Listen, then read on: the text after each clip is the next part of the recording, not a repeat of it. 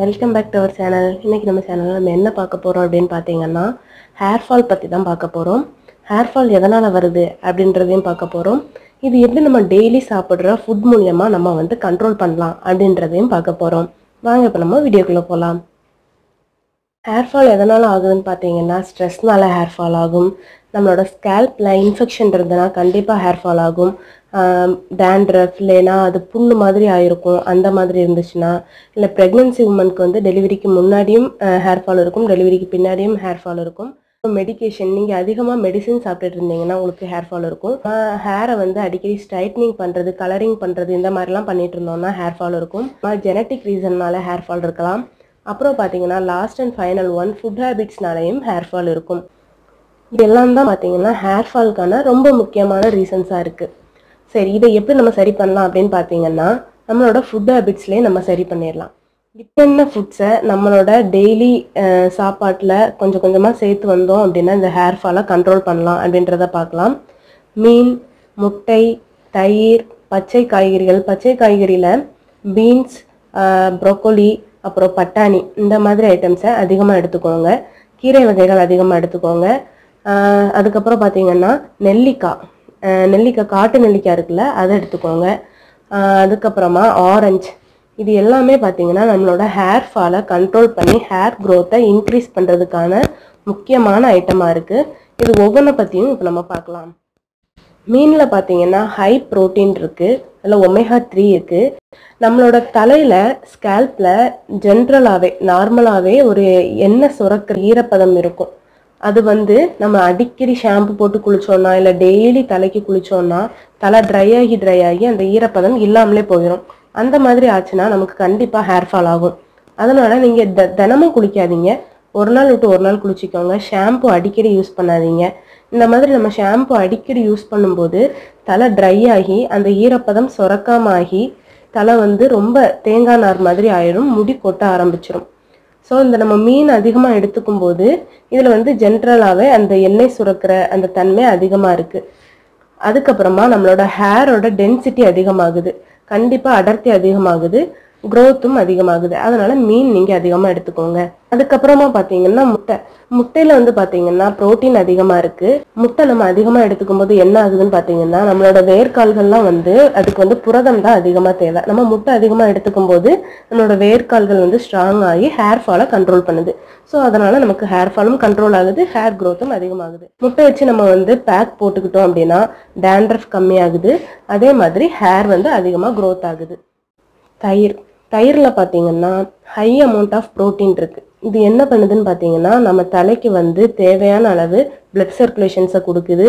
நமக்கு தின் ஹேர் இருந்துச்சுன்னா அதை கொஞ்சம் கொஞ்சமாக சேஞ்ச் ஆக்கி நம்மளோட ஹேரை நல்லாவே ஸ்ட்ராங் ஆக்குது. அதனால் மீன் முட்டை அதெல்லாம் சாப்பிடாதவங்க நீங்கள் தயிர் அதிக அளவில் எடுத்துக்கோங்க.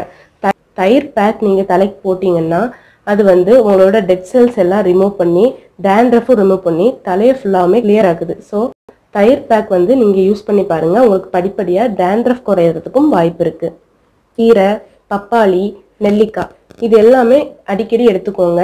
இது எல்லாமே ஹேர் வளர்றதுக்கு உதவுது. ஹேர் ஃபாலையும் கம்மியாக்க உதவுது. ஸோ கீரை பப்பாளி நெல்லிக்காய் எல்லாமே எடுத்துக்கோங்க.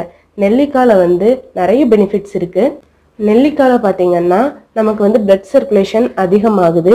இளநறைய தடுக்குது. நம்மளோட ஹேர் சம்டைம்ஸ் வந்து கலர் சேஞ்ச் ஆகிட்டே வரதை நம்மளால ஃபீல் பண்ண முடியும். பிளாக் கலர்ல இருந்து கொஞ்சம் கொஞ்சமா கலர் சேஞ்ச் ஆகிட்டே வந்துட்டு இருக்கும் இந்த மாதிரி இருக்கு இருக்கிறவங்க நீங்க நெல்லிக்காவை ரெகுலரா சாப்பிட்டுட்டு இருந்தீங்கன்னா கண்டிப்பா இந்த பிரச்சனை எல்லாமே தவிர்க்க முடியும். இது வந்து நம்மளோட முடியோட வேர்க்கால் எல்லாமே வலுவாக்குது.